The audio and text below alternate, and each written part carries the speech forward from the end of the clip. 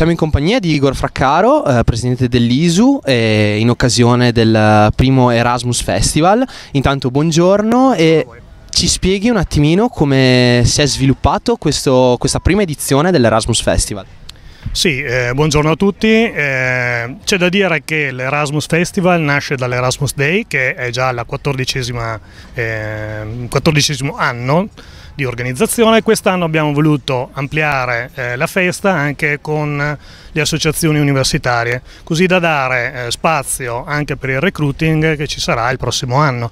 Quindi la festa è riservata sia agli Erasmus che sono incoming e sia agli Erasmus che sono outgoing dell'Università di Verona per il prossimo anno. Questa qua è un po' l'idea e quindi abbiamo voluto dividere le due giornate, la prima dove gli Erasmus che sono qui a Verona danno informazioni agli Erasmus Outgoing, mentre la seconda giornata è per le associazioni che vogliono sostanzialmente dare la loro voce sia agli altri studenti universitari italiani sia a quelli Erasmus che sono qua in visita.